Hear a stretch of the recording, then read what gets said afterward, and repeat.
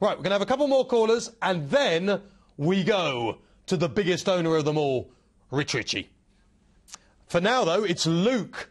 Luke, you are two calls away from Rich Ricci. That must make you feel quite powerful. How exciting, how exciting that is, Matthew. Yeah. How, what would you... Belfast. I'm coming Absolutely, to... yeah. I will be in Belfast 8.30 tomorrow morning, Luke. Um, well, unfortunately, I've got, I've got to go back to Dublin this evening to work, but, um, you know, enjoy my city. It's beautiful. Oh, okay. No need, But to, yeah, be, um, no need, actually- no need to drive all the way to Dublin just because I'm coming to Belfast. But anyway, um, uh, what would you like to say? But yeah, it, it actually it pains me to completely agree with pretty much most of what you've been saying so far. Um, I, I'm I'm intrigued though if Vautour does go for the champion chase.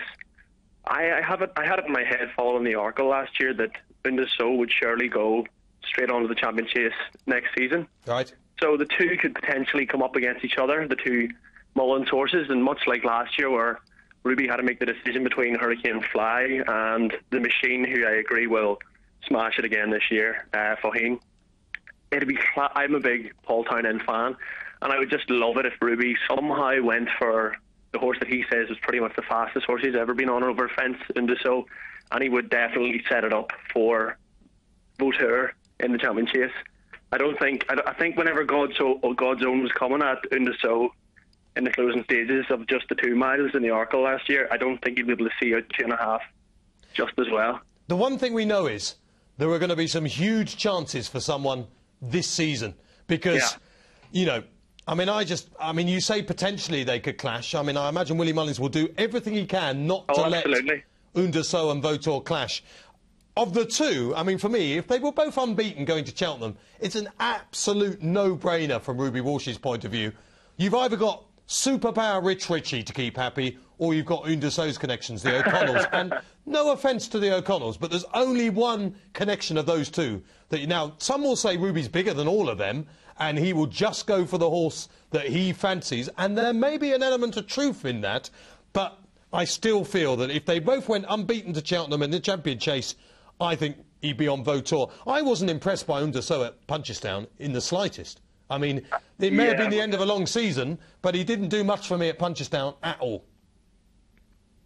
Well, he did all he needed to do, and he looked impressive at Chelsea. You are so easily pleased, Luke. Well, no. The, the only thing I do hope is I. I mean, after the JLT novices last year, everyone was saying, "Oh, I can't wait for the next Kauto Star Vautour to go and win the Gold Cup next year," and I was just going, "Please do not let that happen."